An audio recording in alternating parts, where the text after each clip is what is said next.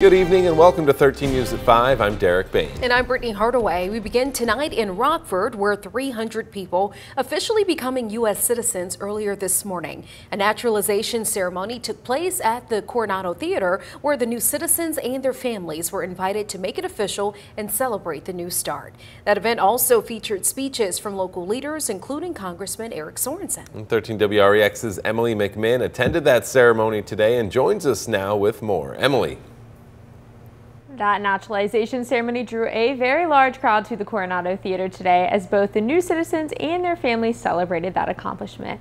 And for many of these people, today was definitely a day several years in the making. These new citizens are also now eligible to vote in the upcoming election, something the ceremony's leaders hope they will take advantage of and something those new citizens plan to do.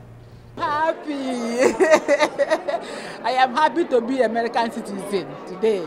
I'm very, very happy. Today was a very good day for 300 people at the Coronado Theater as they officially became U.S. citizens. As they continue to celebrate, new doors are now open as these people are now eligible to vote, something the magistrate judge for the ceremony hopes they will take advantage of. They're now new, new U.S. citizens. They get all these rights guaranteed to them by our Constitution, and obviously voting is one way in which they can grasp those rights and do what the Constitution now allows for them, and it's, it's a big a big year for our country. And that is exactly what many of these new citizens plan to do, already getting a head start as they visited the voter registration table set up at the ceremony. It's one of the rights that we were we were responsible to exercise, right?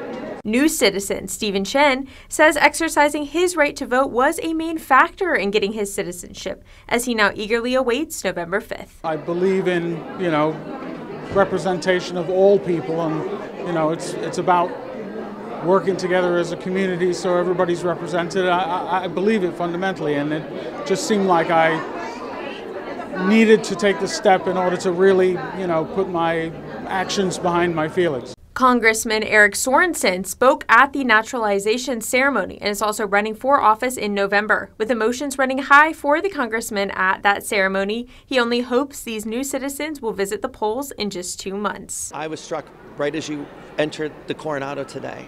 Um, there is a sign up to vote. Um, and so, my encouragement to these new citizens is vote. Your voice matters. We need your voice to be heard. With Election Day now just 61 days away, now is the time to begin preparing how you plan to cast your ballot. For those north of the state line, there are two ways you can prepare for Election Day. The first is by going to your local city hall and registering there. The other way is by going to the link on your screen and submitting your information online. However, you will also need proof of residence in order to register. And Illinois residents can also register to vote online by going to the link on your screen. But you will need two forms of identification to do so, such as a driver's license, personal check, or mail sent to your address. Brittany and Derek, back to you. All right, a lot of important information there, Emily. Thank you.